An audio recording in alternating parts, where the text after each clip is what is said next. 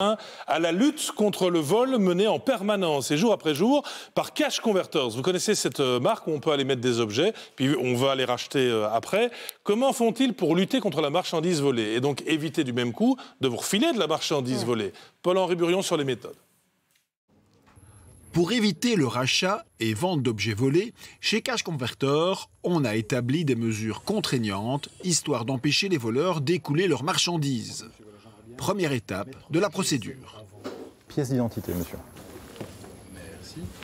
C'est bien vous. Si cette personne est fichée indésirable chez nous, on le voit directement, donc on a une base commune pour, pour tous les magasins. L'employé va aussi s'intéresser à l'histoire de l'objet et aux motivations du vendeur. Quelles sont les raisons de la vente? Je compte euh, m'en acheter un nouveau, une nouvelle série, donc euh, voilà, ça fait trois ans que je l'ai. Il va rapidement se faire une idée. Ce qui aide beaucoup parfois, c'est les fonds d'écran. Euh, on voit directement sur le fond d'écran bien souvent parce que c'est un couple et la personne est devant vous et on le voit directement. Les, les codes, les comptes iCloud. Les numéros de série des différents appareils sont aussi communiqués à la police.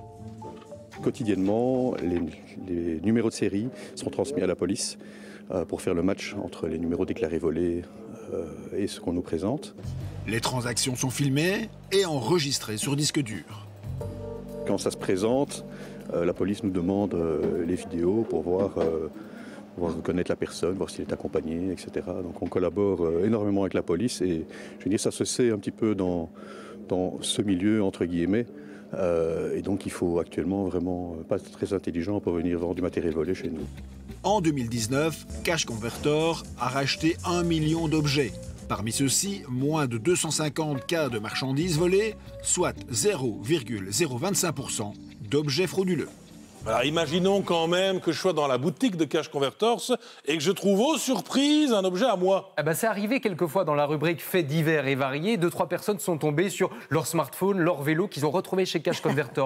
et malgré le fait qu'ils avaient le bon numéro de série, le document, la preuve d'achat, on leur a demandé de repayer, de passer à la caisse.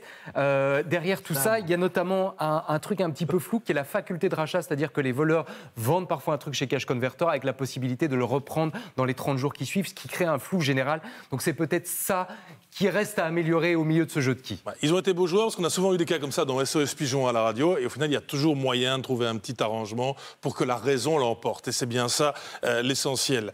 Euh,